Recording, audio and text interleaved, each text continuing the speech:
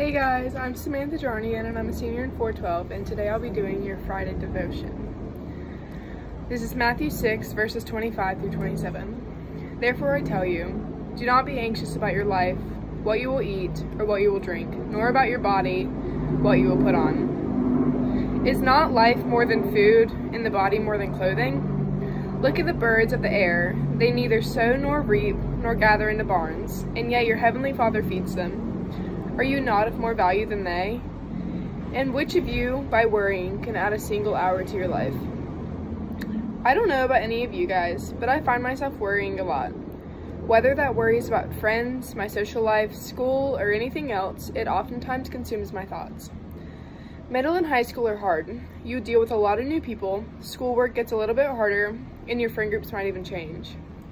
For me at least, this school year has been full of lots of up and, ups and downs, and I'm sure that many of you could agree.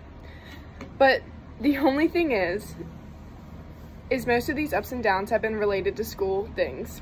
I'm sure that all of you know about the coronavirus since schools are out, and in a way it feels like everything is shutting down. We have never experienced a pandemic before. It's scary, it's new, and we aren't even supposed to leave our house.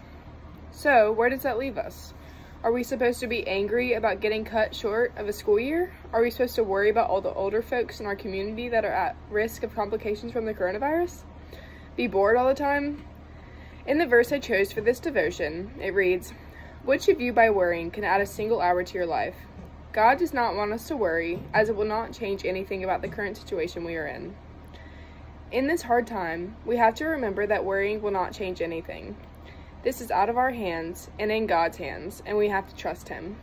During the rest of this strange time, I challenge all of you to put your faith in God and to try and focus on some things that you enjoy doing.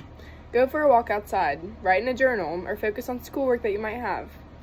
We will get through this by positivity and by supporting each other. Let us pray. Hey God, we ask you to help us to remember that everything is in your hands and that you will always have our best interest. Please watch over all of us in this time of trial and fear and teach us to be calm and gracious. Help those directly and indirectly affected by the coronavirus and heal them physically and allow them to trust in you. Today, we want to exhale stress and anxiety and we want to inhale your love and grace. Thank you for this time to come together and love one another and lean on each other. In your name we pray. Amen. Thank you guys.